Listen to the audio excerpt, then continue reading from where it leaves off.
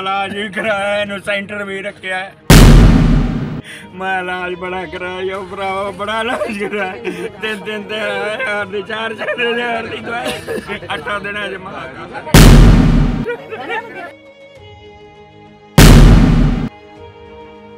ਇਹ ਬਹੁਤ ਮਾੜੀ ਘਟਨਾ ਵਾਪਰੀ ਜੋ ਹੋਈ ਹੈ ਇੱਕ ਨੌਜਵਾਨ ਦੀ ਹੱਤਿਆ ਹੋ ਗਈ। ਕਿਸ ਤਰ੍ਹਾਂ ਦੇ ਹਾਲਾਤ ਪਾਏ ਗਏ ਨੇ ਜੀ ਇਹਦੇ? ਇਹ ਜੀ ਟੀਕਾ ਓਵਰਡੋਜ਼ ਨਸ਼ੇ ਦੀ ਓਵਰਡੋਜ਼ ਕਰਕੇ ਹੀ ਇਹਦਾ ਜੋ ਵੀ ਹੋਇਆ।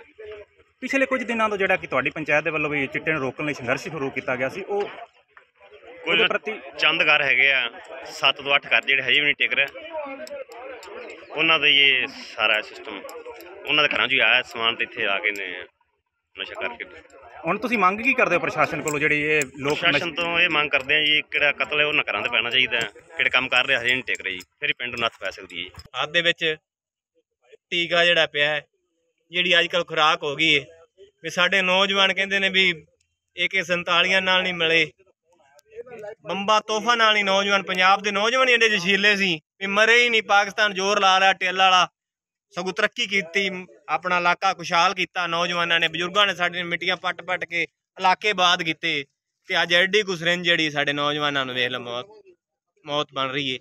ਔਰ ਇੱਕ ਅਸੀਂ ਹੁਣ ਪਿੱਛੋਂ ਹੀ ਬਾਰਡਰ ਪਿੰਡ ਤੋਂ ਆ ਰਹੇ ਹਾਂ। ਮੈਂ ਸੂਬਾ ਪ੍ਰਧਾਨ ਆ ਪੰਜਾਬ ਕਿਸਾਨ ਯੂਨੀਅਨ ਦਾ। ਉੱਥੇ ਕ੍ਰਿਕਟ ਟੂਰਨਾਮੈਂਟ ਸੀ ਬਾਰਡਰ ਤੇ ਔਰ ਬੜਾ ਨੌਜਵਾਨਾਂ ਜੋਸ਼ ਸੀ। ਔਰ ਮਨ ਨੂੰ ਬੜੀ ਖੁਸ਼ੀ ਹੋਈ ਵੀ ਸਾਡੇ ਨੌਜਵਾਨ ਚੰਗੇ ਪਾਸੇ ਲੱਗ ਗਏ ਨੇ। 2 ਕਿਲੋਮੀਟਰ ਦੇ ਲਗਭਗ ਨਿਕਲੇ ਤੇ ਫੋਨ ਆ ਗਿਆ ਕਹਿੰਦੇ ਮੁੰਡੇ ਦੀ ਇੱਕ ਡੈੱਡ ਬੋਡੀ ਪਈ ਏ। ਮੇਰੇ ਨਾਲ ਡਾਕਟਰ ਸਾਹਿਬ ਸੀ ਸਾਡੀ ਗੱਡੀ ਲੈ ਕੇ ਆਏ ਮੈਂ ਸ਼ਾਇਦ ਇੱਕ ਦਾ ਸਾਹ ਹੋਏ ਦਵਾ ਦਾ ਚੱਕ ਡਾਕਟਰ ਸਾਹਿਬ ਚੈੱਕ ਕਰਨ ਲੈ ਜਾਣਗੇ। ਨਸ਼ੇ ਦੇ। ਲੱਕ ਨਹੀਂ ਨੌਜਵਾਨੀ ਦੇ ਲੱਕ ਟੁੱਟ ਰਿਹਾ ਤੁਹਾਡੇ ਸਾਹਮਣੇ। ਇਹ ਜਿਹੜਾ ਪਿੰਡ ਵਾਲਿਆਂ ਤੋਂ ਪਤਾ ਲੱਗ ਗਿਆ ਤੇ 6ਵੀਂ ਤੋਂ 7ਵੀਂ ਮੌਤ ਹੈ ਪਿਛਲੇ ਕੁਝ ਦਿਨਾਂ ਤੋਂ। 6ਵੀਂ ਤੋਂ 7ਵੀਂ ਮੌਤ ਹੈ ਮੋਗੇ ਦਾ ਇੱਕ ਨੰਬਰ 'ਚ ਪਿੰਡ ਸੀ ਦੋਲੇ ਵਾਲਾ। ਉਦੋਂ ਬਾਅਦ ਦੂਜੇ ਨੰਬਰ ਤੇ ਪਿੰਡ ਸੀ। ਅੱਜ ਇਹ ਪਹਿਲੇ ਨੰਬਰ ਤੇ ਆ ਗਿਆ ਹੈ। ਔਰ ਹੋਰ ਸੁਣੋ ਥੋੜੇ ਦਿਨ ਪਹਿਲਾਂ ਪੰਜਾਬ ਪੁਲਿਸ ਵੀ ਰੇਡ ਕਰਨ ਆਈ ਉਹਨਾਂ ਦੇ ਵੀ ਜਿਹੜੇ ਇਹਨਾਂ ਨੇ ਬੰਨ ਕੇ ਤੇ ਉਹਨਾਂ ਨੂੰ ਕੁੱਟਮਾਰ ਕੀਤੀ ਹੈ ਪੰਜਾਬ ਪੁਲਿਸ ਹੀ ਅਸਫਲ ਸਾਬਤ ਹੋ ਰਹੀ ਹੈ ਇਹਨੂੰ ਰੋਕਣ ਦੇ ਵਿੱਚ ਹੁਣ ਨੌਜਵਾਨਾਂ ਨੂੰ ਅਪੀਲ ਕਰਾਂਗਾ ਵੀਰੋ। ਇਹ ਪੰਜਾਬ ਪੁਲਿਸ ਦੇ ਵਾਸ ਤੋਂ ਬਾਹਰ ਦੀ ਕੰਮ ਹੈ ਸਾਰੇ ਨੌਜਵਾਨ ਤਕੜੇ ਹੋ ਕੇ ਹਮਲਾ ਮਾਰੀਏ ਜੇ ਆਪਾਂ ਬਚਾਣਾ ਹੈ ਆਪਣੀ ਜਵਾਨੀ ਬਚਾਣੀ ਨਹੀਂ ਤਾਂ ਖਤਮ ਸਮਝ ਲਓ। ਕਵਾਏ ਦਾ ਪਤਾ ਲੱਗਾ ਕਵਾਏ ਦਾ ਅੱਛਾ ਜੀ।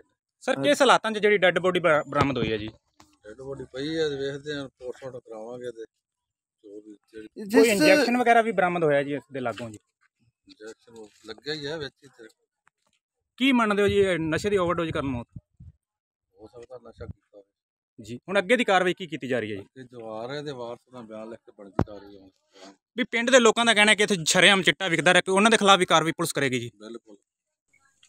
ਪਰਚਾ ਦਿੱਤਾ ਜਾਏਗਾ ਉਹਨਾਂ ਦੇ ਖਿਲਾਫ ਕਾਰਵਾਈ ਕੀਤੀ ਜਾਏਗੀ ਬਣਦੀ ਕਾਰਵਾਈ ਉਹਨਾਂ ਤੇ ਹੋਈ